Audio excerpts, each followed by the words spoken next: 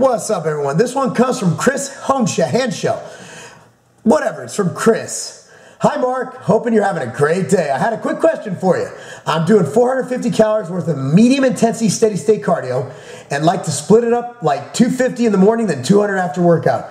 Is it all at once or will this work fine for fat loss? Long story short, it is fine either way. You can do your cardio all at once or split it up.